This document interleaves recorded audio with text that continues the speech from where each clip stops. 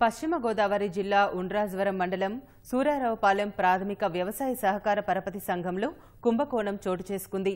సుమారు మూడు కోట్ల ఎనభై ఆరు లక్షల రూపాయల మేర నిధులు దుర్వినియోగం జరిగినట్లు అధికారులు గుర్తించారు.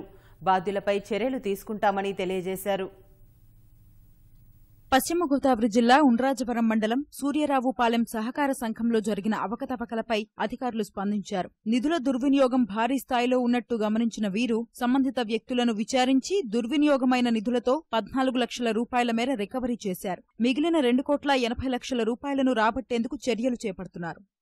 సూర్యారావుపాలెం ప్రాథమిక వ్యవసాయ సహకార పరపతి సంఘంలో జరిగినటువంటి అవకతవకలపై అప్పటి పెన్షన్ ఇన్ఛార్జ్ కమిటీ వారు సంఘ వ్యవహారాల మీద ప్రాథమిక విచారణ నిర్వహించడం జరిగింది. ఆ ప్రాథమిక విచారణలో భారీ ఎత్తున నిధుల దుర్వినియోగం గుర్తించడం వల్ల సహకార సంఘంలో వివిధ పద్ధతుల కింద మూడు కోట్ల ఎనభై ఆరు లక్షల రూపాయల నిధులు దుర్వినియోగం అయినట్లుగా గుర్తించడం జరిగింది. ఈ మూడు కోట్ల ఎనభై ఆరు లక్షలకు సంబంధించి ఇరవై రెండు లక్షల రూపాయలకు సంఘ సేల్స్ మెన్లకి సబ్చార్జ్ నోటీసులు జారీ చేయడం జరిగింది. సంఘ మాజీ అధ్యక్షులు సంఘ మాజీ కార్యదర్శి వారి పాలకవర్గంలో పనిచేసినటువంటి పన్నెండు మంది డైరెక్టర్లకు సంబంధించి డెబ్బై లక్షల రూపాయలకు వారి మీద సబ్చార్జ్ నోటీసులు జారీ చేయడం జరిగింది. మిగిలిన రెండు కోట్ల ఎనభై లక్షల రూపాయలకు సంబంధించి రేపు పదిహేడవ తారీఖున ఈ సబ్చార్జ్ విచారణ వీరిపై నిర్వహించడం జరుగుతుంది డిఆర్ఆర్ కోర్టులో.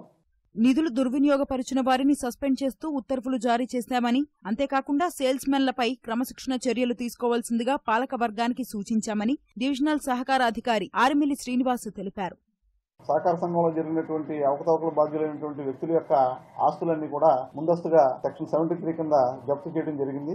నిషేధించినటువంటి ఆస్తుల జాబితాలో ఇవన్నీ కూడా చేర్చడం జరిగింది. ఈ ఆస్తుల యొక్క అమ్మకాలు గాని కొనుగోళ్ళు గాని నిషేధిస్తూ ఉత్తర్వులు జారీ చేయడం జరిగింది. ఇక సంఘ కార్యదర్శి బాధ్యులైనటువంటి సంఘ కార్యదర్శిని సంఘ ఉద్యోగం నుంచి సస్పెండ్ చేయాల్సిందిగా సంఘ పాలకవర్గం వారికి సెక్షన్ ఫిఫ్టీ నైన్ కింద డైరెక్షన్ ఇవ్వడం జరిగింది. సంఘ ఇతర సిబ్బంది మీద కూడా క్రమశిక్షణ చర్యలకి సిఫార్సు చేయడం జరిగింది. ఈ జిల్లా సహకారాధికారి వారి యొక్క ఆదేశాల మేరకు మేరకు ఈ బాధ్యులైన వ్యక్తులపై మన కలెక్టర్ గారు ప్రాసిక్యూషన్ ఆర్డర్స్ తీసుకుని వారి మీద కూడా క్రిమినల్ చర్యలు తీసుకోవడం జరుగుతుంది.